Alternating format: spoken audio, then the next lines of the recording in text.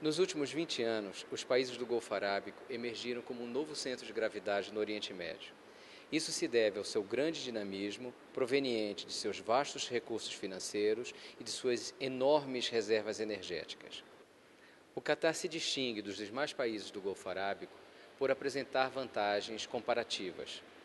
É dono das terceiras maiores reservas mundiais de gás natural, é o maior exportador mundial de gás natural liquefeito, apresenta uma coesão social interna importante e, e, conta também com uma riqueza infinitamente maior que o número de sua população. O Brasil e o Catar estabeleceram relações diplomáticas em 1971 e este ano nós celebramos 10 anos da abertura da embaixada residente em Doha.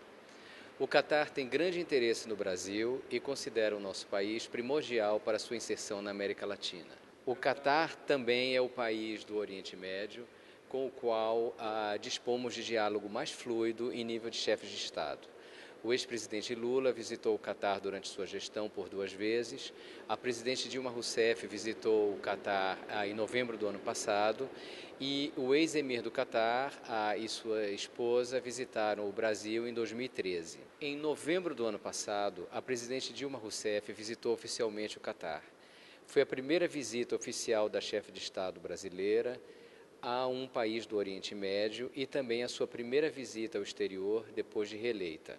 A chefe de Estado brasileira pôde encontrar-se com o emir Tamim, que é o chefe de Estado catari, e, nas suas conversações, decidiram elevar o nível do relacionamento bilateral a um novo patamar. Os dois chefes de Estado estabeleceram como áreas prioritárias do relacionamento as áreas de energia, esporte, educação, comércio e investimento. Na última década, o comércio bilateral cresceu quase 800%. No ano passado, o comércio Brasil-Catar atingiu a cifra de 1 bilhão de dólares.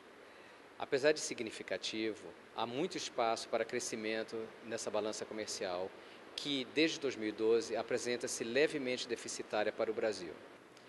Há um grande espaço para se aumentar a presença comercial do Brasil no Catar, porque nós somos apenas o 18º fornecedor oficial do Catar. As nossas exportações para o Catar é, representaram apenas 1,3% de todas as exportações cataris no ano de 2014. Não há que se perder de vista também que o Catar é, é dono de um dos maiores fundos soberanos do mundo.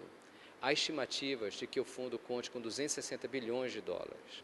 Figura-se aí uma grande oportunidade para o Brasil de atrair recursos do, deste fundo de soberano para realizar investimentos no Brasil. A cooperação esportiva é também uma área interessante para, para o desenvolvimento das relações bilaterais. Em 2014, nós sediamos a Copa do Mundo de Futebol e o Catar sediará a Copa em 2022. Há aí, então, grande espaço para se trocar informações e experiências, tendo sempre presente que o Catar foi o país que enviou a maior delegação à Copa do Mundo de 2014 no Brasil.